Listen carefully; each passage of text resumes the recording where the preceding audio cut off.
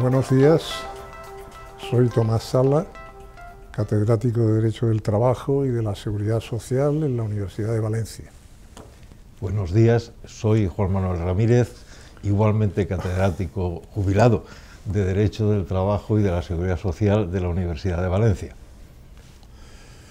Bien, yo lo primero que quisiera resaltar es la importancia fundamental de la negociación colectiva en un modelo de relaciones laborales.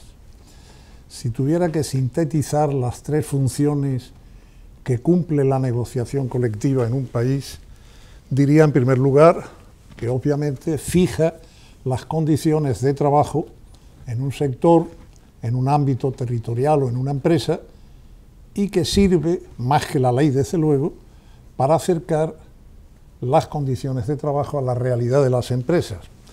En segundo lugar, es un instrumento formidable de pacificación social. Y en tercer lugar, allá donde se dejen, permite el reparto del poder y el reparto de la renta en las empresas frente al poder tradicional de los empresarios. Por tanto, constituye, diría, el Santa Santorum de un modelo de relaciones laborales frente al tradicional modelo de intervencionismo estatal y también frente a un modelo neoliberal o paleoliberal basado fundamentalmente en el contrato de trabajo y en una tendencia hacia la individualización de las relaciones laborales. En España, en estos últimos años, y concretamente con la reforma del Partido Popular del 2012, ha habido tres intervenciones funestas para la negociación colectiva. Eh, concretamente, eh, la primera de ellas, el haber establecido la prioridad eh, de los convenios colectivos de empresa, de los convenios de grupo, de los convenios de empresas afines, sobre los convenios sectoriales, la prioridad aplicativa de una manera imperativa por parte de la ley. Que es en lo que yo me centraré a continuación. En segundo lugar, porque se ha producido una reducción a un año de la ultraactividad normativa de los convenios colectivos. Y en tercer lugar, porque se han establecido nuevas reglas para poder descolgarse o inaplicar en una empresa un convenio colectivo.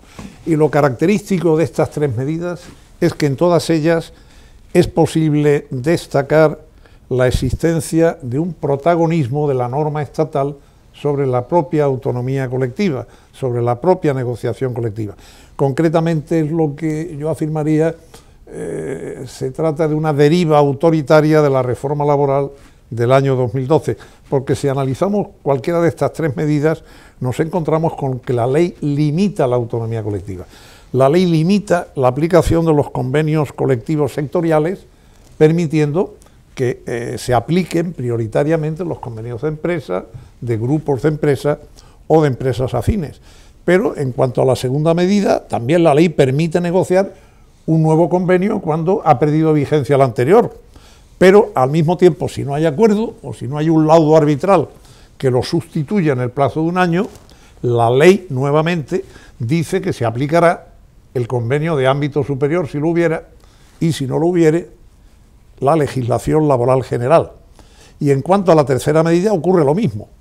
La ley permite negociar la inaplicación o el descuelgue en una empresa de un convenio colectivo por una serie de causas. Pero si no hay acuerdo, también es la ley la que establece un arbitraje obligatorio, en cierto modo, de la Comisión Consultiva Nacional de Convenios Colectivos o de las comisiones similares que se dan en las distintas comunidades autónomas.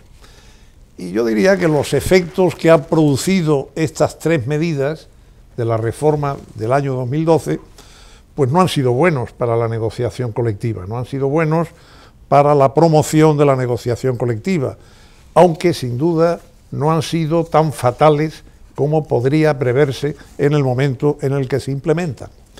Si vamos a la prioridad aplicativa, que ha sido probablemente la que más daño ha hecho a la negociación colectiva, con independencia de que esta medida pone dificultades a la articulación de la negociación colectiva, lo cierto es que durante muchos años los sindicatos y las patronales tenían libertad plena para articular la negociación colectiva e hicieron bien poco. En este sentido habría que entonar la autocrítica y el mea culpa por parte de todos. Pero lo más sensible de esta medida que prioriza los convenios de ámbito inferior sobre los convenios sectoriales es que se ha cambiado el paradigma. Antes de la reforma, los convenios sectoriales eran mínimos, mejorables por los convenios de empresa, por los convenios de grupo, por los convenios de empresas afines. Ahora ocurre exactamente lo contrario. El convenio sectorial viene a establecer un paradigma, un conjunto de condiciones de trabajo que en general los convenios de empresa establecen condiciones menos favorables. Y esto se ha traducido en sectores como el de hostelería, en relación con las limpiadoras o en el sector de vigilancia, por poner dos ejemplos, en un sentido bastante negativo, en el sentido de que se han rebajado los salarios de las empresas contratistas que han tenido a bien negociar convenios de empresa. Por otra parte, si vamos a la medida de la nueva regulación de los descuelgues o de las inaplicaciones de empresa, la nueva ley lo que propicia son estos descuelgues, porque si no existe acuerdo, siempre cabrá el arbitraje de la Comisión Consultiva Nacional de Convenios o la similar autonómica. ¿Y qué ocurre cuando en el seno de estas comisiones que tienen carácter tripartito no se llega a un acuerdo? Que la que decide es la representación de la administración pública. Ciertamente no han aumentado exageradamente, diría yo, eh, los descuelgues por el hecho de esta reforma. Y allá donde se han producido, se han referido fundamentalmente a la materia salarial. Y en cuanto a la tercera de las medidas, el nuevo régimen de ultraactividad normativa de los convenios colectivos, esa reducción a un año de la ultraactividad y la amenaza, si no hay acuerdo, si no hay laudo sustitutorio, de aplicar el convenio de ámbito superior, o peor aún, si no existe ese convenio de ámbito superior, aplicar la legislación laboral general, los efectos que se han producido es que han aumentado, aumentado, diría, el poder del empresario. En un doble sentido, o bien para individualizar las relaciones laborales, o bien para conseguir de la contraparte una negociación a la baja aunque hay que reconocer que en la práctica lo que se ha producido ha sido fundamentalmente o una negociación parcial, acuerdos parciales, para mantener una situación determinada o prorrogar temporalmente los convenios anteriores. En definitiva, y sintetizando estas tres medidas legales de la reforma del 12 y sus efectos, yo diría que en la negociación colectiva eh, las tres medidas conducen al mismo sitio, que es conseguir la reducción de los salarios de los trabajadores contratados, en línea con una finalidad no declarada, pero existente en la ley de reforma laboral del 2012. Y de esta manera yo creo que se ha contribuido a potenciar un criticable modelo de relaciones laborales basada en los costos fundamentalmente salariales de la, empresa. Es decir, eh, potenciar la competencia en costos frente a la que podría ser mucho más razonable la competencia en la productividad de la empresa. Yo voy a, como he anunciado antes, voy a insistir en dos temas que Tomás ya ha tratado. De, uno, de un lado, el tema de la prioridad aplicativa, la preferencia aplicativa de los convenios de empresa sobre los convenios sectoriales en una serie de materias clave. No en todas las materias el convenio de empresa tiene preferencia, pero tiene preferencia en una serie de temas claves, como son el salario base, los complementos salariales, el abono compensación de horas extras, la retribución del trabajo a turno, el horario, etcétera, ¿no? Temas muy importantes. Y el otro tema, también señalado ya por Tomás, la posibilidad de inaplicar en la empresa las condiciones previstas en un convenio colectivo, sobre todo en un convenio colectivo eh, sectorial, inaplicarlos mediante acuerdo con los representantes de los trabajadores legitimados para negociar en ese ámbito. Eh, pero lo más grave en este punto es que eh, el artículo 82.3 que regula esta cuestión es un tanto ambiguo.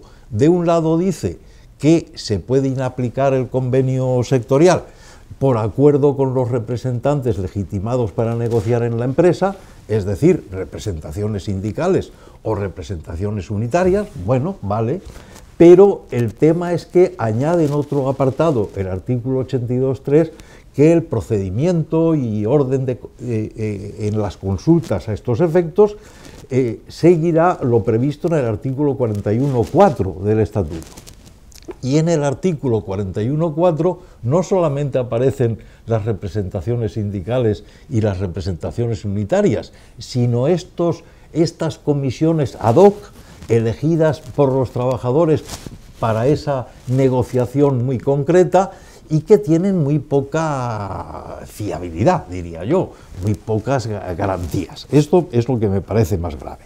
Pues bien, sobre estos dos temas, eh, añadiendo que en la inaplicación eh, en la empresa del convenio sectorial eh, se puede producir sobre muchas materias también importantes, jornada de trabajo, horario y distribución del tiempo de trabajo, régimen de trabajo a turnos, sistema de remuneración y cuantía salarial, sistema de trabajo y rendimiento, prácticamente en, casi todo. ¿no?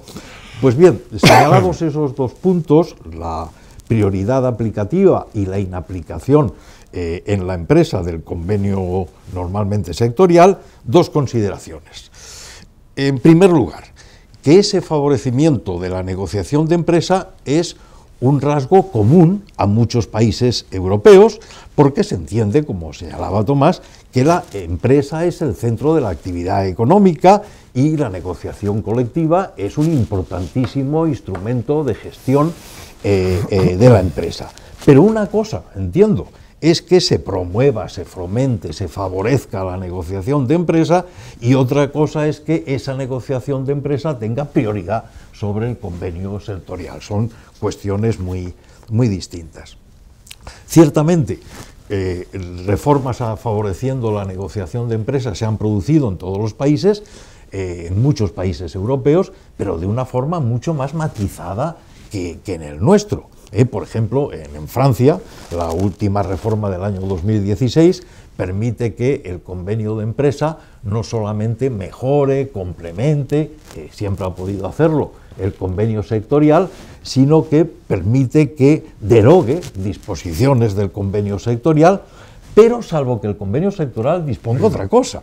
Y nunca, nunca en ciertas materias tales como salarios mínimos, clasificaciones, igualdad profesional entre mujeres y hombres y otra serie de materias. ¿eh? Por tanto, una relación mucho más matizada entre el convenio sectorial y el convenio, el convenio o el descuelgue de empresa. También en Italia, ¿eh? una ley del año 11 permite que los acuerdos de empresa puedan derogar las disposiciones contenidas en los convenios nacionales, incluso derogar disposiciones contenidas en, leyes, pero entre en materias como las funciones de los trabajadores, la clasificación profesional, los contratos a término o con horario reducido, flexible, el suministro de mano de obra, etcétera. Pero entre esas materias no está nunca la retribución, no se prevé la retribución. Hay otro dato más que me importa señalar respecto a Italia, no sé si en Francia la situación es la misma, esta ley italiana del año 11 toma pie, toma base en un previo acuerdo intersindical entre la Confindustria italiana y las grandes centrales sindicales, la CGIL, la CIS, la, la WIL. Eh, quiero decir que eh, son leyes que se apoyan en una previa eh, y recogen, no del todo, pero casi literalmente lo previsto en el acuerdo sindical. Por lo tanto, yo acabaría diciendo que es un mundo muy distinto al nuestro. como señalaba Tomás, en el nuestro ha sido la ley de manera autoritaria la que ha impuesto o ha dado una determinada estructura a la negociación colectiva, la que en términos más concretos ha favorecido la negociación de, empresa, le ha dado prioridad a la negociación de empresa. Mientras que en el caso italiano, por ejemplo, ha sido la propia autonomía colectiva interconfederal la que ha dado eh, ese eh, eh, mayor papel a la negociación colectiva. Y sobre todo, yo añadiría otra cosa eh, que es que eh, en, el aparte de que normalmente se prevé, como hemos visto, que la negociación de empresa pueda entrar en determinadas materias, incluso derogar el convenio nacional, pero salvo, salvo que el convenio colectivo nacional diga otra cosa, aparte de eso, yo lo que señalaría, por terminar, es que eh, es difícil mm, eh, calibrar eh, exactamente en qué términos se está produciendo la aplicación de esta normativa en los distintos países. Entre, en el derecho del trabajo, entre lo que dicen las normas y lo que es la realidad, a veces hay una gran diferencia y resulta difícil, por lo tanto, establecer comparaciones. yo quisiera añadir a este tema importantísimo de la prioridad aplicativa de los convenios de empresa impuesta por la ley, que eh, la situación provocada puede calificarse en algún caso de dramática, pero no de trágica. ¿Por qué? Porque en España, antes de la reforma del año 2012, las empresas que podían y querían tener convenios de empresa ya lo tenían. Y, eh, por tanto, dada la infraestructura empresarial en España de una pequeña o pequeñísima empresa, con ausencia de representantes, ya sean unitarios, comités, delegados o sindicales, dentro de ellas eh, el drama no se ha convertido en tragedia. Sin embargo, hay un sector que sí quisiera subrayar en donde más ha abundado esa nueva negociación colectiva de empresas, en el sector de las empresas contratistas y subcontratistas, que son precisamente las que han planteado el problema que antes me refería en el sector de la hostelería o en el sector de la vigilancia. O multiservicios. O en el sector multiservicios, sin duda. Son empresas. Bueno, y, a mí me gustaría, a partir de esta realidad que os hemos descrito eh, muy sumariamente, eh, plantearnos un poco el futuro, ¿no? Es decir, ¿qué reformas cabe imaginar a nuestro juicio sobre la negociación colectiva? Yo aquí distinguiría dos tipos de reformas necesarias.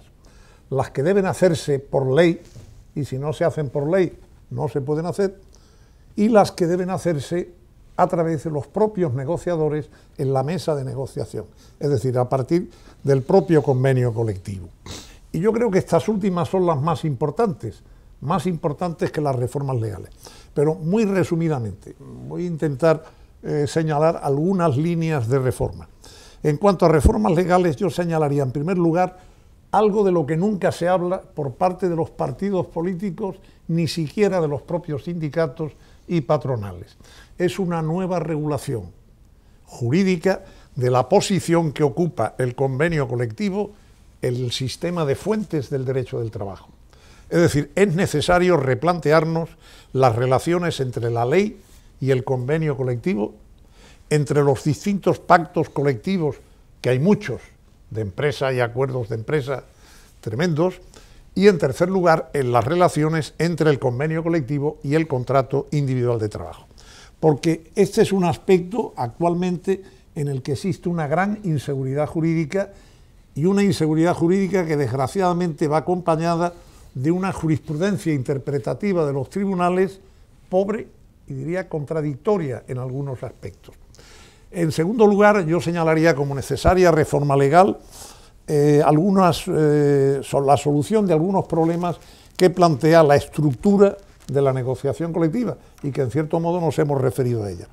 En primer lugar, en materia de legitimación para negociar convenios colectivos de empresa, la duda que tengo es si habría que dar o no un paso más al que se ha dado con las últimas reformas, concediendo prioridad a los sindicatos sobre los comités de empresa y representantes unitarios para negociar este tipo de convenios, estableciendo como regla general que sean los sindicatos los únicos y exclusivos negociadores a estos niveles, como en líneas generales ocurre en la Europa comunitaria.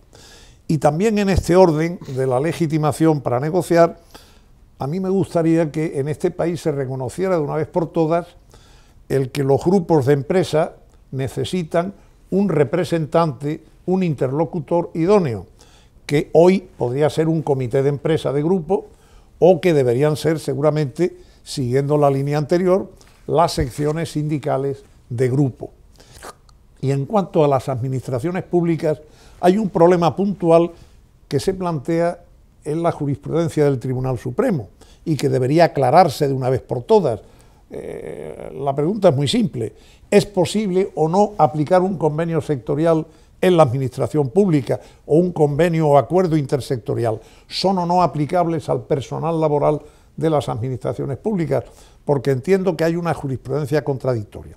Y en tema de concurrencia de convenios, ahí volvemos a lo de antes, entiendo que debería suprimirse la prioridad aplicativa con carácter imperativo de los convenios colectivos de empresas, de grupos o de empresas afines sobre los convenios sectoriales. Y acaso establecer también por ley los criterios aplicables a los convenios colectivos sectoriales en su aplicación a los convenios a las empresas multiservicios, cuando éstas no tengan un convenio de empresa. Este es un tema que existen criterios por parte de la Comisión Consultiva Nacional de Convenios Colectivos, existen criterios jurisprudenciales, pero es un tema mm, muy dudoso y donde hay una cierta inseguridad jurídica. En el plano de la estructura eh, de la negociación colectiva por ley, a mí no se me ocurre más allá de detalles sobre la regulación de la concurrencia de convenios en el artículo 84. Pero luego, en cuanto a la ultraactividad de los convenios, o sea, en cuanto a la duración de los convenios, yo suscribiría una tesis intermedia entre la que a veces se predica de ultraactividad indefinida de los contenidos de los convenios colectivos y una ultraactividad limitada a un año, como es la que estableció la reforma del 12. Creo que hay soluciones intermedias y fórmulas razonables en otros países, como puedan ser Portugal o pueda ser Dinamarca. Una fórmula prudente, pongo sobre la mesa, podría ser establecer una ultraactividad indefinida para determinadas materias hasta un nuevo convenio mm, y esas materias serían las coincidentes, recordemos, con un antiguo acuerdo de cobertura de vacíos que se utilizó en este país para suprimir o para derogar las viejas reglamentaciones de trabajo. Se mantuvo siempre, eh, con valor eh, secundario, las retribuciones, la jornada laboral, el régimen disciplinario y la clasificación profesional hasta que hubiera un convenio colectivo. Hacer algo parecido con la ultraactividad. Hay más cuestiones que seguramente deberían hacerse por ley, pero estas son las que me parecen, diríamos, como más urgentes o más importantes. Pero como dije antes, yo creo que con reformas legales no se llega lejos. Con reformas legales se pueden acabar con ciertos problemas, pero los problemas más importantes surgen de la propia negociación colectiva. Son aquellos que dependen más de los interlocutores sociales que de la propia ley. Y en este orden, por poner dos ejemplos, señalaría, en tema de estructura negocial, los problemas que plantea la atomización de la negociación colectiva en este país, la falta de coordinación entre los distintos convenios colectivos, la falta de una articulación, decíamos antes, el excesivo número de convenios colectivos que existen y paradójicamente a la vez la falta de cobertura negocial en muchos casos, esto es algo verdaderamente contradictorio que se da en la realidad. Chocante. ¿Eh? Pero sobre, ¿eh? Es chocante. Es chocante. Pero sobre todo yo denunciaría por la experiencia de cinco años como presidente de la Comisión Consultiva Nacional de Convenios un problema que teníamos todos los días sobre la mesa. Yo creo que son denunciables porque en la mayor parte de los casos no aclaran el ámbito de aplicación funcional de los convenios colectivos sectoriales, cómo operan sindicatos y patronales cuando firman estos convenios colectivos sectoriales el ámbito funcional siguen copiándolo del convenio anterior, del convenio anterior y así hasta la vieja reglamentación, cuando ha llovido muchísimo desde mediados del siglo pasado hasta el año 2017 en el que estamos. Han sido muchas las nuevas actividades, los nuevos subsectores, las nuevas empresas que han surgido en el mercado eh, frente a lo que existía en esas épocas. Pues bien, en muchos casos los convenios sectoriales siguen diciendo lo mismo en cuanto al ámbito funcional y el problema que plantean, el primero y fundamental, es saber a quién aplicas ese convenio colectivo. Las dudas de muchas empresas preguntando a la comisión, oiga, realizando esta actividad o estas actividades, ¿qué convenio colectivo es el que me deben aplicar? Y la verdad es que las respuestas con los ámbitos funcionales mm, denunciados, como digo, y criticables de los convenios sectoriales era enormemente difícil. Y yo añadiría dos ejemplos más. En el procedimiento de la negociación, en el procedimiento de la negociación hay una asignatura pendiente en este país frente a lo que ocurre en otros países de nuestro entorno y es la ausencia de un código de buena conducta negocial elaborado, obviamente, por los sindicatos y por las patronales o asociaciones empresariales más representativas. Esto se inició en un acuerdo interconfederal sobre negociación colectiva, pero se abandonó luego. Y eso debería tener, a mi juicio, una eficacia jurídica de norma y resultar aplicable con carácter general a todo tipo de pacto o de negociación colectiva en este país. Y acabo señalando que en cuanto al contenido de los convenios colectivos, aquí lo que se aprecia en nuestra negociación colectiva, eh, sinceramente hay que decirlo, es pobreza de contenidos. La mayor parte de ellos se refieren a salarios y tiempo de trabajo. Son muchos los temas que eh, deberían enriquecerse en una negociación colectiva. Habría en ese sentido que revitalizar los convenios incentivando, por ejemplo, la conexión entre salarios y productividad empresarial, que es un tema menor en muchos convenios, impulsar la flexibilidad interna negociada en los convenios colectivos, impulsar un tema clave en una reforma laboral seria que se hiciera en este país, impulsar la formación continua en la organización del trabajo en las empresas, defender naturalmente la estabilidad en el empleo a través de una serie de medidas, profundizar en la igualdad de trato y en la conciliación familiar en los convenios colectivos. En este sentido es fundamental promocionar y desarrollar los derechos fundamentales de los trabajadores en las empresas y seguramente también incidir en la prevención de riesgos laborales. Y no quisiera acabar sin señalar algo al que soy enormemente aficionado a contar siempre, y es la necesidad de que los convenios colectivos se planteen el regular lo que podríamos llamar protocolos de actuación empresarial respecto de determinadas situaciones, como son el acoso laboral, el móvil, el acoso sexual o por razón de sexo, el tema de la utilización de nuevas tecnologías en las empresas, el tema de la drogadicción y del alcoholismo en las empresas o el tema del secreto de empresa. Todas estas cuestiones son cuestiones que o se negocian con protocolos muy claros en la negociación colectiva o difícilmente una ley puede regularlas. Y la ventaja de negociar esto es que eh, no cuestan dinero, porque son procedimientos en los que están interesadas ambas partes, la parte empresarial y la parte de los trabajadores. Y yo me pregunto a veces por qué no se ha aprovechado la época de crisis en que la negociación colectiva prácticamente mm, ha bajado, ha bajado el nivel, porque no había posibilidades económicas probablemente en muchas empresas para negociar tiempo de trabajo y salarios, para haber negociado estos protocolos. Llegamos tarde, hay excepciones notables, pero estos son temas que seguramente deberían desarrollarse en las próximas negociaciones. De acuerdo. Eh, como yo señalaba antes, en efecto, la negociación de empresa se debe promover, se debe fomentar. Y tú has señalado una cuestión. Hay cuestiones, la, igualdad entre mujeres y hombres, eh, por ejemplo, eh, nuevas tecnologías, en que se debe incluso imponer que esas materias se negocien en la empresa cada X tiempo, como sucede en Francia, cada año, cada dos, y tal. En ciertos temas hay que negociarlos. Pero otra cosa es que se permita eh, eh, que se eh, fije la prioridad sin más del convenio de empresa o la posibilidad de descuelgue, que se dice es también una medida de flexibilidad interna que lo que persigue es evitar el recurso a la flexibilidad externa, es decir, esto antes y mejor que recurrir al, despido. Bien, de acuerdo, pero si esa prioridad del convenio de empresa, esa posibilidad de descuelgue, se limitan sobre todo a temas salariales, pues eh, efectivamente hay una forma de eh, competitividad empresarial, pero basada en el salario, que dicho pura y llanamente es un dumping salarial frente a las otras empresas.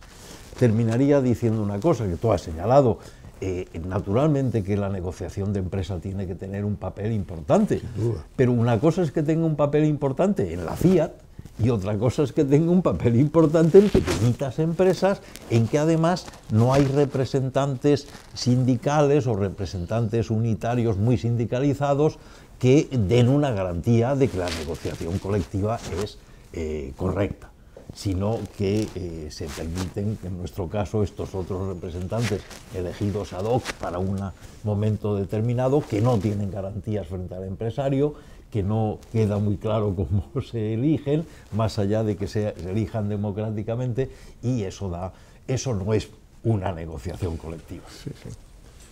Yo, por, acabar también, eh, diría algo que en lo que creo que estamos de acuerdo los dos, lo hemos hablado muchas veces. Y es que, en definitiva, lo que eh, defendemos es un modelo de relaciones laborales que tenga fundamentalmente dos patas gruesas. A la hora de fijar las condiciones de trabajo, en lo que llamaríamos el momento normativo, ¿eh? más y mejores convenios colectivos frente a leyes, reglamentos y contratos individuales. Y en el plano de la aplicación de esas condiciones de trabajo, también defendería más procedimientos de solución extrajudiciales, sobre todo más mediaciones, más eh, conciliaciones, acaso también arbitrajes en su justo término y menos judicialización de los conflictos laborales. En definitiva, más sociedad civil, menos Estado y más mayoría de edad de los agentes sociales, sindicatos y patronales y menos Estado protector, tutelador de unos y de otros.